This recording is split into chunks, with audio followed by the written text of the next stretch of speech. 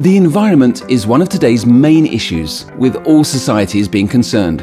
Alstom has for years taken part in the environmentally responsible approach of developing comprehensive, non-polluting solutions for the sector of rail transport. Today, rail operators mostly use diesel trains to operate passenger service on non-electrified networks.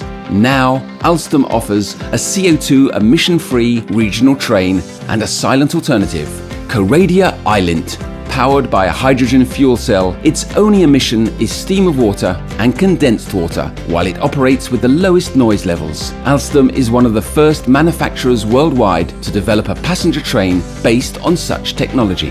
Thanks to this technology, Coradia iLint enables sustainable train operation while its performance matches that of regular regional trains. Coradia iLint is special for its combination of different innovative elements a clean energy conversion, a flexible energy storage capacity, and smart management of the traction power and remaining energy. The principle relies on a fuel cell, which produces the electric power. It's the core of the system. The fuel cell is supplied with hydrogen on demand. By combination of hydrogen with oxygen from ambient air inside, the fuel cell produces the electric energy needed to supply the vehicle.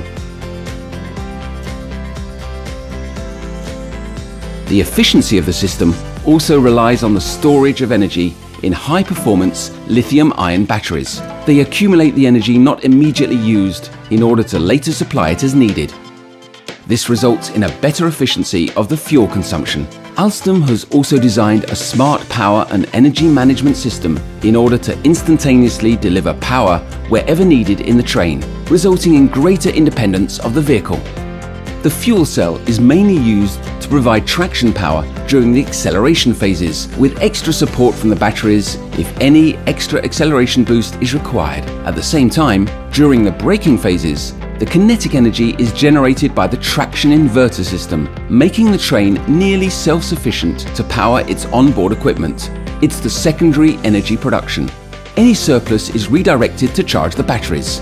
This system has an additional consumption advantage as it saves hydrogen. During coasting or low acceleration phases, the batteries supply the energy necessary to power traction as well as onboard systems, the fuel cell remaining constantly available to recharge the batteries whenever necessary.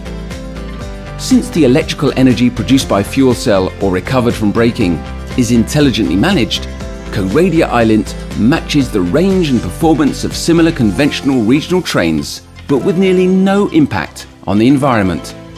To make the deployment of the Coradia iLint as easy as possible for operators, Alstom provides a complete offer consisting of the train itself, its maintenance, but also the whole hydrogen infrastructure out of one hand.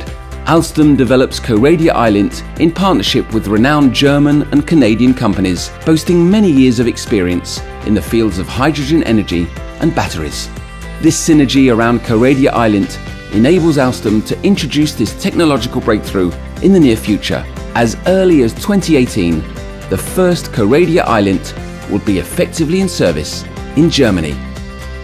Today, with Coradia iLint, Alstom is taking a considerable step towards the rail of tomorrow.